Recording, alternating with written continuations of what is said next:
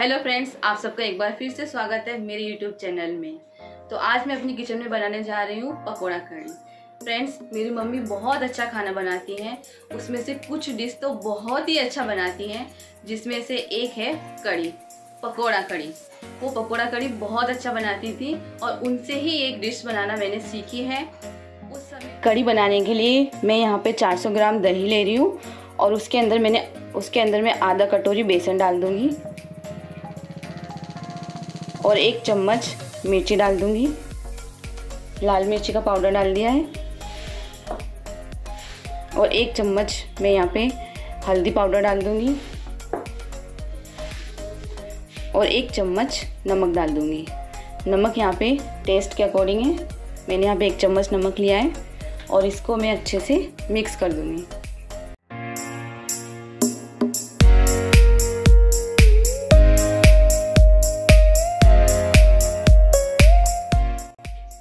अच्छे से मिक्स हो गया है। अब मैं इसके अंदर पानी डाल दूँगी।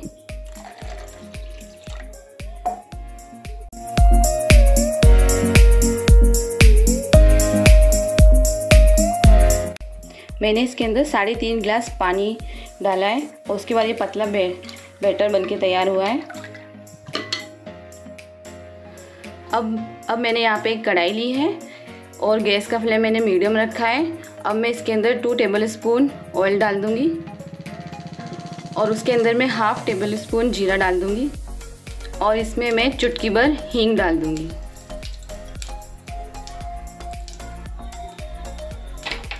अब मैं अपने बेटर को इसमें डाल दूँगी।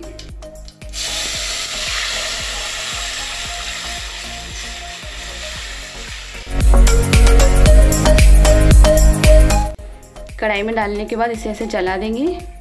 मिक्स कर लेंगे इसे और इसे मीडियम फ्लेम पे हम उबाल आने तक पकने देंगे। ये देखिए फ्रेंड्स मेरी कड़ी में उबाल आ गया है। अब मैं गैस का फ्लेम स्लो कर दूँगी और इसके अंदर अदरक और लहसुन का पेस्ट डाल दूँगी। ये ऑप्शनल है। अगर आपको ये पस, ये नहीं चाहिए तो आप इसको स्किप कर सकते हैं। लेकिन मैं इसके अंदर ये डालती हूँ क्योंकि मुझे इसकी स्मेल और इसका टेस्ट कड़ी के अंदर बहुत अच्छा लगता है। इसलिए मैं इसमें ऐड कर देती हूँ। और इसे ऐसे मिक्स कर लेंगे। हमारी पूरी कड़ी बन के तैयार होने में कम से कम आधा घंटा लगता है और इससे भी ज़्यादा टाइम लग जाता है। तब ये कड़ी का टेस्ट बहुत अच्छा आता है, इसलिए हम इसको धीमे धीमे पकने देंगे।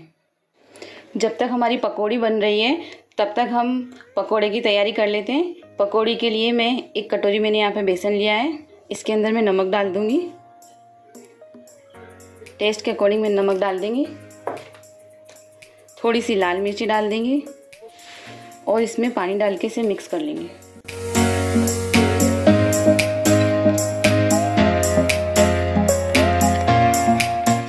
और मिक्स करने के बाद मैं इसमें प्याज डाल दूँगी।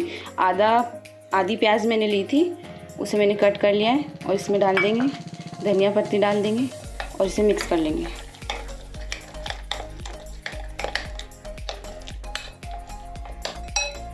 और इसमें मैं थोड़े से सौंफ के दाने डाल रही हूँ। इससे पकौड़े में बहुत अच्छा टेस्ट आ जाता है। और कड़ी में भी।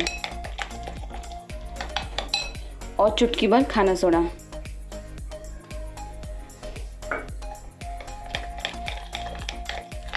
और इसे मिक्स कर लेंगे। इसमें खाना सोडा डालने से पकौड़ियाँ थोड़ी सॉफ्ट हो जाती हैं। और हम इसे अच्छे से मिक्स कर लेंगे। अब हम एक कढ़ाई में तेल गरम कर लेंगे और इसमें छोटे छोटे पकोड़े के पीस डालेंगे। हम थोड़े छोटे छोटे डालेंगे। पकोड़ों का साइज़ ज़्यादा बड़ा नहीं करना है।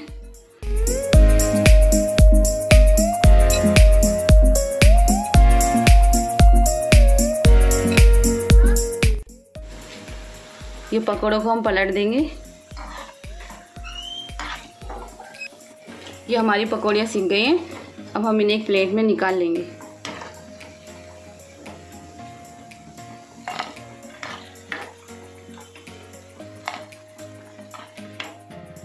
ये हम कड़ी को चलाते रहेंगे बीच बीच में।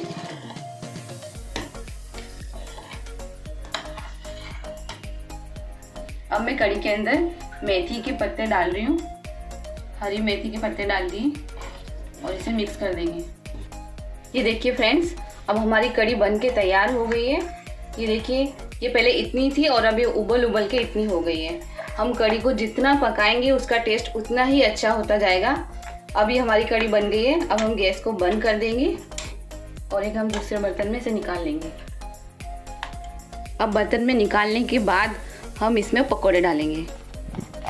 हमें एकदम गरम कड़ी में पकौड़े नहीं डालने हैं। अब हम लगाएँगे इसमें तड़का। तड़के के लिए हम एक पैन लेंगे। इसमें ऑयल डाल देंगे। कोई भी कुकिंग ऑयल डाल देंगे। और उसमें डाल देंगे राई और अब इसमें डालेंगे दो लाल साबुत मिर्च।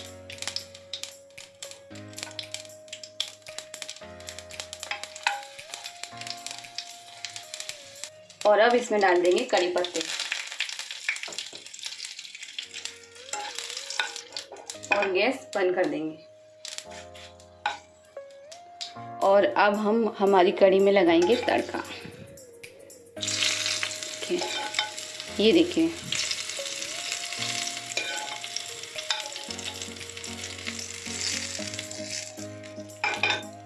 और गार्निशिंग के लिए इसके ऊपर रखेंगे हरा धनिया।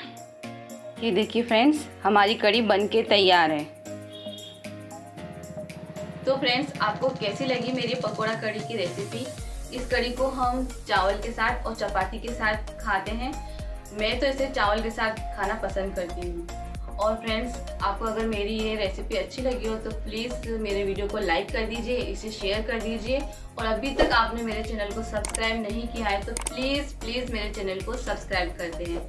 फ्रेंड्स मिलते हैं नेक्स्ट वीडियो में नेक्स्ट रेसिपी के साथ। तब तक के लिए bye take care thank